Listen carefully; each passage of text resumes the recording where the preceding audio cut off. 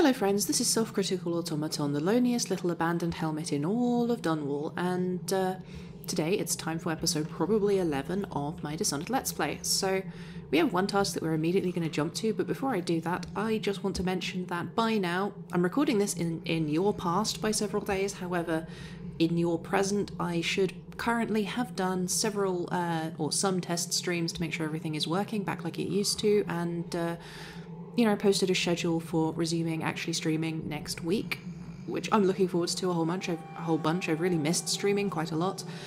Uh, but yes, so uh, go follow me on Twitch and on Twitter if you want to see announcements about that kind of stuff. Um, yeah. So other than that, it's all good. You know, let's go. Come, come watch me live stream games. It's basically the same as this, except uh, less planned. I don't script anything, but you know, I plan stuff. Did I forget something from my intro? I'm not sure. Uh, anyway. That's not relevant. Oh, no, stupid goddamn. Dublin son of- God. These guys' legs are very slightly desynchronized and it's bothering me. So the only place left to go is back to Slackjaw to hand in our quest that he gave us.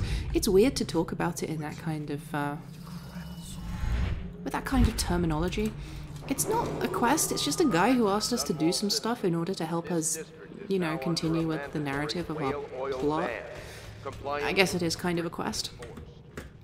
So, he will tell us some dumb things. I will talk about why these are dumb things at the time. However, uh, aside from that, it will be time to just go straight on to the Golden Cat. Let's surprise these guys. Hey, guess what? I can teleport.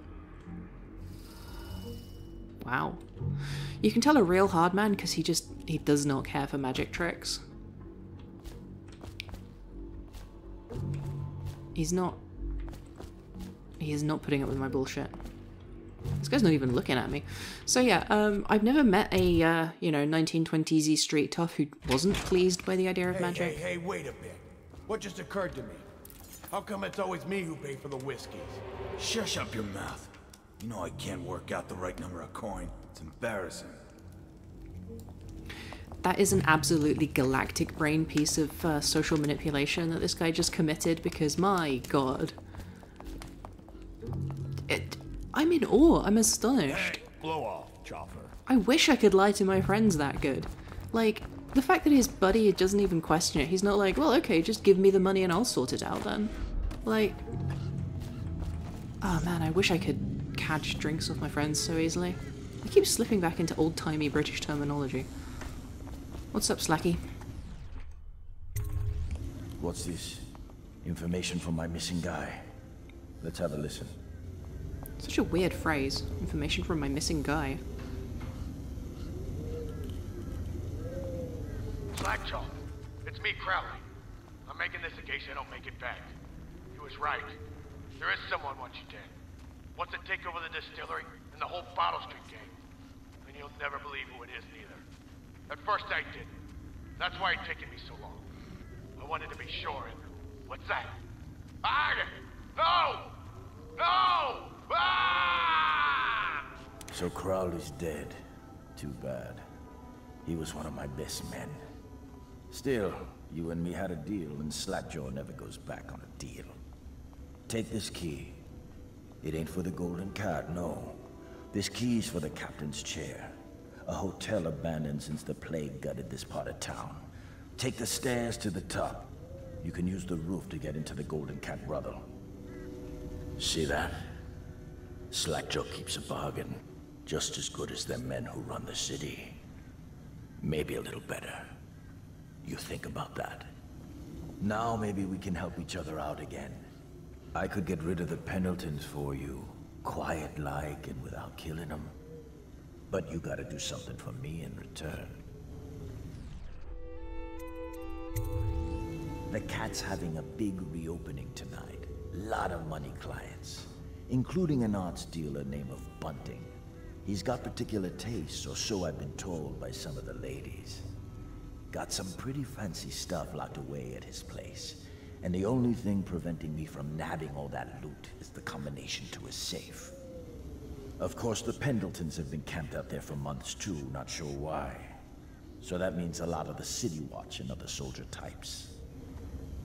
Bring me that combination, my masked friend, and then I take care of the Pendleton brothers. Just like that. You ain't never even gonna touch them. And I promise, I won't kill them, and no one will ever see them again. Now if that ain't a deal, Slackjaw don't know what is. You know, it's funny that they call him Slackjaw when he clearly cannot shut the fuck up no matter how long you wait. My god, he talks a lot. Uh, actually, maybe that is why they call him Slackjaw. You'd think it would be a very muscular jaw by this point, though. Let me just check.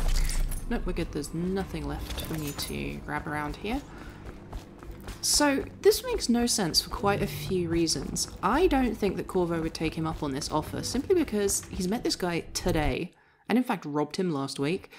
Um, last week? Last night, even. Um, under those circumstances, why would he trust this? This is the most important thing Corvo has ever done. Corvo is rescuing his goddamn daughter. Um, or, well, his his his uh, wink ward wink, and um, I really do not think that he would trust someone else to see these things done. Also, the circumstances of him being told this is just. Would you trust a man who said, "Don't worry, I can just magically make them disappear"?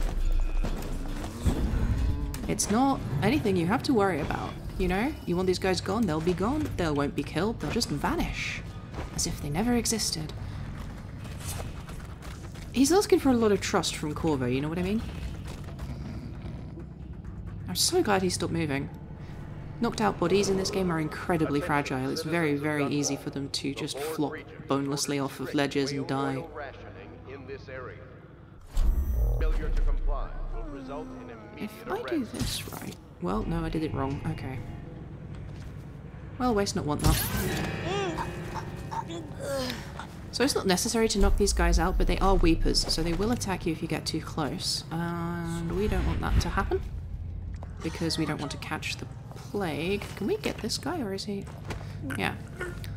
Uh, but yeah, so I'll, I'll get back to Slackjaw's plan in a second. First off, I just want to briefly talk about the epidemiology of Weepers because it's really interesting. There are these hints in the game, and later at full-on con... The hell is the confirmation? Wow, that was a weird word to forget. Uh, there is confirmation later in the game that this plague was introduced on purpose to by to now, that's that's not really relevant. It's just that this guy clearly shot himself because his wife left, or well, I'm not even sure. It's weird. It says, "Hey, come join me in Serkonos when you can," and but he's clearly shot himself based on the uh, environmental storytelling. Have So- you seen him? The handsome one with the beautiful dark eyes. I just want to tell him I'm doing my part. Yes, Granny Rags is doing her part. Tell him, won't you? If you see him. Sure, Granny. I'll I'll I'll tell him. Um, the fuck was I talking about? Oh, Weepers. Yes. So it's a really weirdly multi-staged disease. So you become infected. Once you're infected, uh, you begin coughing after after a certain amount of coughing, a certain amount of time, a week more. Collar, You eventually. Starting soon. Is my Long hair ago, so Granny cool? Rags Be danced sure to to be court. Men begged to marry her. I mean, who hasn't really? I, shit, I actually had men beg to marry me. Um, I'm just that delightful. Anyway, the the thing is, they kind of have this bizarre, this bizarre thing. You start coughing, then you start bleeding from the eyes. Once you start bleeding from the eyes, you will die. Death is certain. There is really nothing you can do to escape it. But, um, at that stage, you also start coughing up bugs. like you get elixir. We've been on half rations for a week. I ain't catching the plague. Hand it over. No, please, it's for my baby. He needs it. It's us that needs it. If the City Watch gets sick, how are we gonna protect you? Protect me. You grab her. I'll get the. Hey, you. Get lost. This here's a private party. That was Help. supposed to be more of Sir, a. Uh, please help. That was supposed to be a bit more of a cool kickoff to this. But, you know, this works fine too.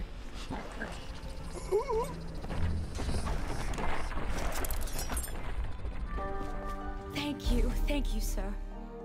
You saved me. How can I thank you? I have nothing. Wait, take this. It's the backdoor service key to Bunting's house, the art dealer on the main street. I used to work for him, you know, before the plague. He's let all his servants go, but he's still there. Probably hoping he'll be able to sell something from that safe of his. I don't know what he has left, but it's all I have to offer you. Please take it. So that's nice of her, and that saves us having to do a uh, irritating side quest a bit later on.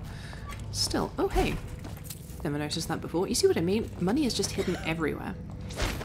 Anyway, uh, once we put these men in the trash where they clearly belong. Bye guys, have fun in the uh, flooded district. So yeah, we should definitely head back to Bunting's uh, house. I'm going to do that in a minute after I have finished exploring this zone, which I should be able to do deathlessly. Anyway, my plan was to um, throw a bottle at one guy, dart the other guy, and then uh, stab the first guy, but you know.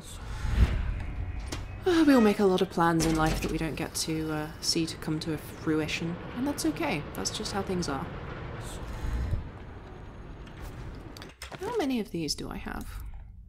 Eight runes. I can in fact get level 2 bend time. By far the most powerful spell in the game. The other spells are more fun, um, but bend time just lets you do literally anything. Let's check these out as well real quick.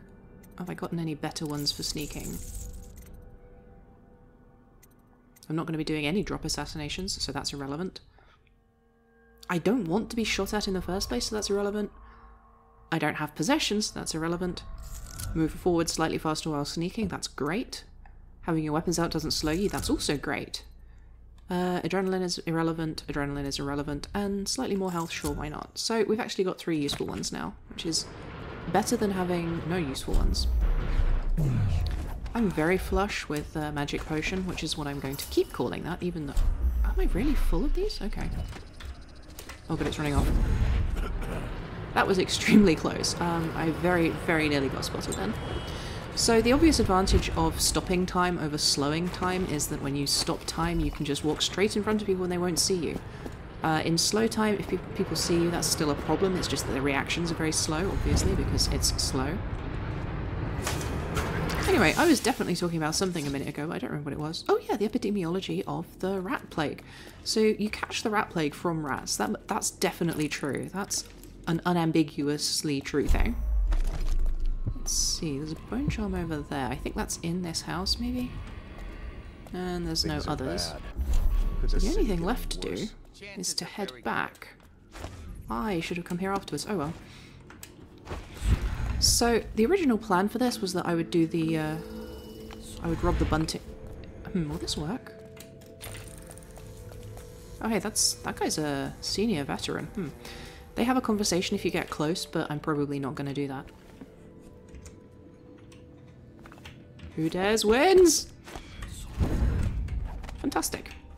So yeah, um, I actually didn't know until very recently when I was doing my like pre-recording playthrough of this game, because I ran through this whole game in a, in a couple days before I started recording originally. But yeah, you can just get over the top of this. You don't have to go through the, the dangerous archway or any of the other dangerous locations. You can just just zoom, it's fine. So yeah, uh, there's this whole side quest about going into the Golden Cat, getting Bunting's, uh, getting Bunting's, what do you call it, his uh, safe combination and then coming back. That's long, that's slow, I can't be bothered to do that, you know. Poor bastard. Stuff can't be worth nothing, can they? Not a chance. I think I remember having seen this painting at my grandmother's place. She wasn't no Hang on a second, I think I've gotten a bit confused. I'm going to ignore these two Philistines talking about how the work of the greatest painter who's ever lived is uh, total garbage and irrelevant. Let me just check. Let's see, mission clues. The art dealer provided a key. Oh, god damn it. It's dumb that I got that wrong. Whoa. Huh? What the?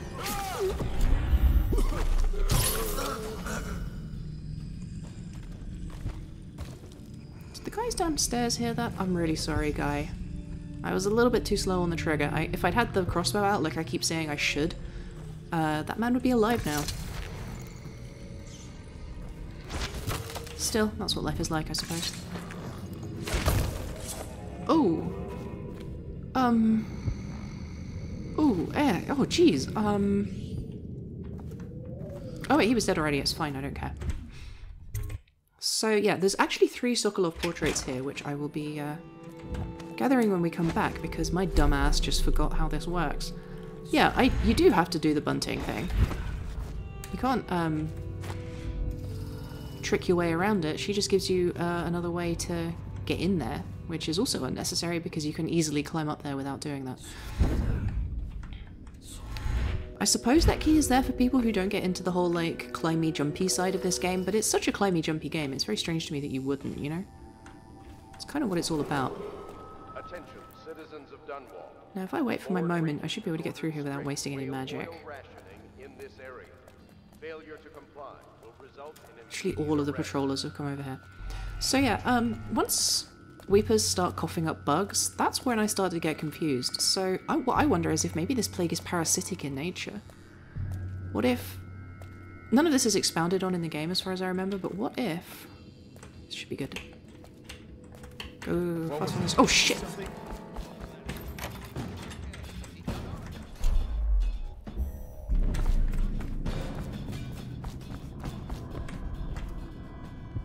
Think I'm okay. I think I'm good. I think we're fine. I think this is not a problem at all.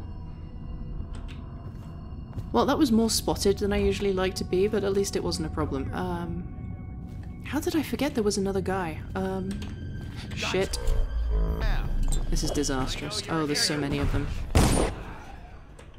That's the other advantage to stopping time. Um, right, I want this. Then I'm getting the fuck out of here. You know what? I don't even care if those rats eat them. It's not my problem anymore. this is what happens when you chase random people into tenements for no reason. Oh, boy, oh boy. Well, at least I didn't kill them. So, you know, they've got that going for them. Whichever of them survived the rat swarm. So yeah, here we are in the Golden Cat. Um, let's take a little bit to sort of survey the surroundings. But yeah, so my suspicion is that this is actually a parasitic plague, not a, a virus or a, a bacterial disease or any of that kind of thing. I think that the... Um,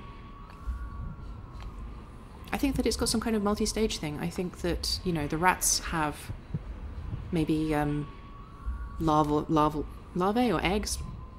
They probably have eggs on them. The you know, people get in contact with the rats, they get the eggs on their skin, they get the egg, they swallow the eggs, they ingest the eggs, then the eggs infect you, you start coughing and spluttering. And then you start coughing up a whole bunch of flies. That is the things hatching. That is those gross little, uh, gross little parasite babies inside you. Then, um, after you're all, uh, all out of them, you die. Rats are attracted to your corpse because you're dead. The flies, uh, Right. Yep, there we go.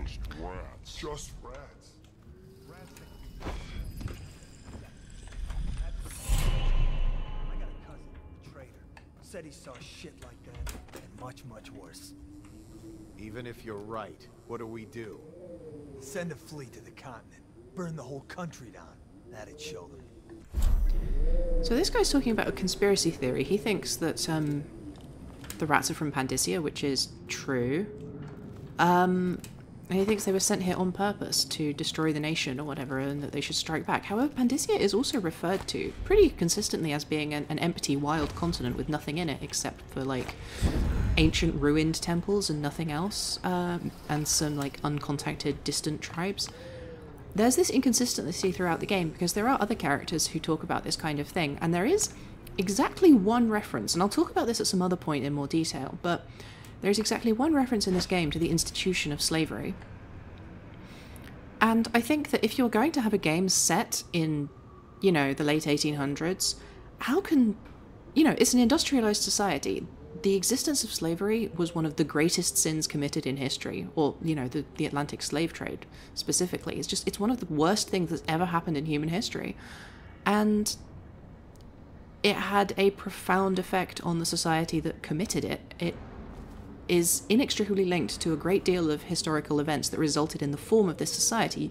So, if you're going to have a society that shares a form with that, I think ignoring it completely is historical revisionism, kind of. Uh, as I said, I have more complex thoughts on this that I'll talk about another time, but that's basically. uh, what that makes me think of at this instance. And there's this weird kind of like two-mindedness about it. There is there is no consistent decision over whether they're going to have this empty continent that was, you know, where everybody died out 100 years, hundreds and hundreds of years ago, or whether they're going to have this continent full of, you know, quote unquote tribes people who are um, mistreated or abducted or taken here for slavery or whatever. It's very strange to make one single gesture at this. Anyway, that all of that, you know, gloominess aside, let's talk about the Golden Cat because the Golden Cat is gorgeous. Look at this delightful Art Deco building. And I said it wrong. It's not Art Deco, it's Art Nouveau. A lot of people get these backwards. I get the names transposed because my brain doesn't work very well, but I do know what I mean. Um, it's the first example of the true, like, ideal of immersive sim level design. We see this hinted at in the previous chapter with um, Campbell's uh, offices, but in that it still very much sticks to that kind of like in through the front, explore the building, out through the back linearity, whereas this gives you a whole entire building with all of the things that it's sensible for a building like this to have. It makes sense as a structure, it makes sense where it is in the city, it makes sense how it's laid out on its interior, and it has a beautiful aesthetic style. These verdigris rooftops are just gorgeous to look at, and the polished sandstone, or limestone rather. It's one of my favourite locations in any game, really. And it just it fits its style so well. The only the only thing I would say is that um, in a city that is heavily based on um, Edwardian London and Edinburgh, this is absolutely a building that has been stolen from Paris of the same era. Just look at it, it's beautiful. So, um, having, you know, kind of gushed endlessly about how nice this building is, I want to talk about how well designed it is. As you approach it from this angle, uh, which is the ideal angle to approach it, this the rooftops always have an advantage in Dishonored because height is so valuable to stealth, but even from the street, you get this picturesque look. You can see the river from the back, possible means of escape. You can see multiple points of entry. You can see this um, this veranda terrace up here. You can see the main entrance. You can very notably see one open window. The advantage of that is in a lot of games you you see windows and windows are just kind of part of the geometry. They're not something you can interact with. However with an immersive sim game the the whole purpose of the game is being able to interact with these environments realistically. It is a high degree of environmental verisimilitude which is supposed to make you feel as if you're there so that your ideas should work as if you were really doing the things you're doing in the game. That's why that open window is so important. That tells the player these windows are not just props. These are windows you can open and close and sneak around and use. Similarly, this guy on the roof shows you, you know, you need to be aware. You need to keep in mind that this place is going to be full of guards and they're going to be in places you can't predict. The access to the river shows you there might be a whole second side to this building that you can use for your plans. It's just perfect. You you kind of come through here and you instinctively get this sense of opportunity and kind of diversity of opportunity and all these different things you might or might not be able to do in this area. I think it's great. I think it's delightful. Things are bad. Could the city get any worse? Chances are very good. Another example of some of the uh, very common uh, dialogue exchanges. So, yeah, um, my tonsil is actually swelling up so bad it's making me making it difficult for me to talk. So I'm going to end this episode here, and uh, I guess beg my doctor to please look at my goddamn tonsils. It's four times the size of a normal tonsil. Why won't you do anything?